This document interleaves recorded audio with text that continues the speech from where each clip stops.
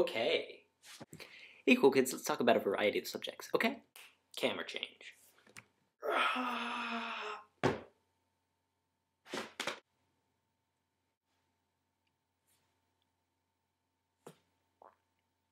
In my life, I've been to a number of places, and whenever I do, I like to appreciate the change in scenery and the different kind of beauty that that place possesses. But it's never come about that I've been in a place long enough that that that new type of beauty, or new to me type of beauty, becomes commonplace or becomes the expected, the regular, the ordinary.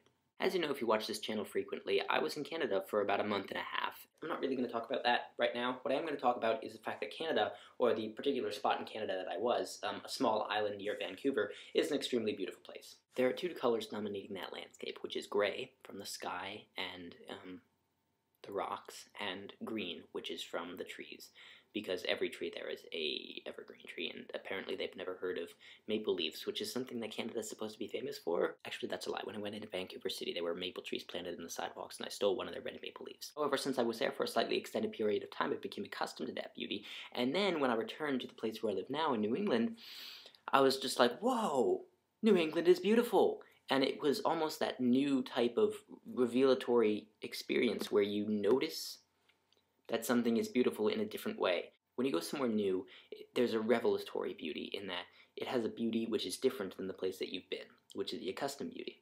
Well, when I came back to New England, it was as if New England was the revelatory beauty, and Canada, where I'd been, was the accustomed beauty, which was kind of cool. I got to see my home in a new light, as it were. All of that doesn't really relate to my question, which is, what do I lack? And I mean this as far as being a poet or any type of artist goes. Not that being a poet or an artist is something that I've seriously considered as a profession, but it's something that I try and be, if that makes sense. Not as a vocation, but as a state of being. Anyway, the answer to my question, what do I lack, is experience. This is me. I'm a small glass of water, which isn't very deep nor very wide. And the sum of all human experience is an ocean. There's not a lot in here.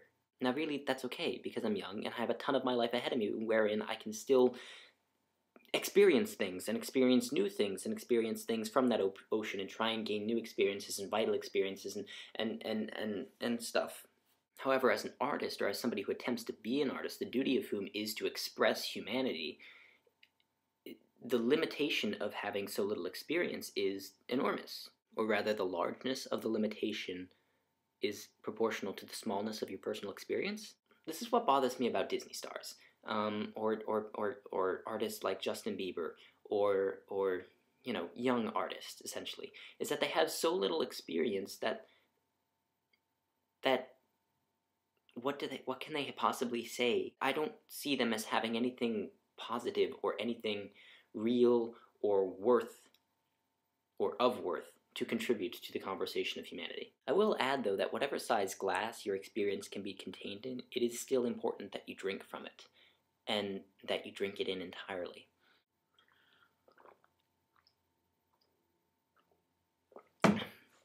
First, because it's important to stay hydrated, and second, because people may experience a lot of things, but if they don't take those experiences into themselves, if they don't drink fully of those experiences, then they can't bring them back out. They can't, to use a disgusting image, regurgitate those experiences into artistic expression, and so cannot contribute to the human conversation. It is impossible to drink the entire ocean of human experience. There are too many things to do for one lifetime and one person, but I think some things are more worth drinking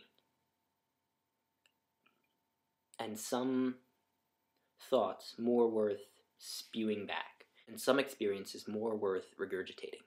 And as someone with only a small cup of experiences, it's my task to pick and choose wisely which experiences I want to drink in and how best to contribute to the conversation of humanity through artistic expression of those experiences.